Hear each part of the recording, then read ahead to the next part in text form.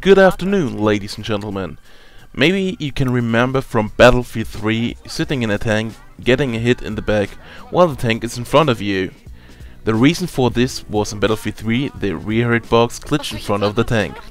In Battlefield 4 you can hit a walnut-sized hitbox spot on top of the tank, which triggers the rear hitbox. Tonk2Stronk already made a video about it and showed it on the Chinese tank, since it's the easiest to trigger. But in this video I will show it on all three. Make sure to check Tong's channel out, links in the description. Let's begin with the Chinese Type 99.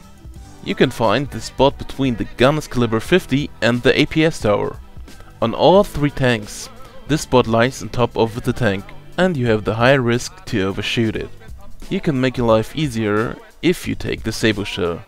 But attention here, the splash damage on infantry is very sobering.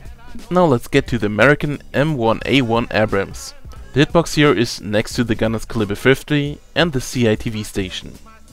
But the spot lays only on the very top of the tank. The smallest spot is here on the T90.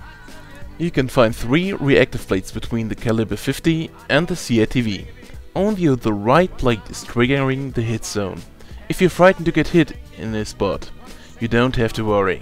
The hitbox get already covered when you turn your turret to the side, or if you just give your opponent a 45 degree angle on your tank. Then he doesn't have the chance to land any hit on you on the back zone. Thanks to Mali for showing me that spot and see you next time.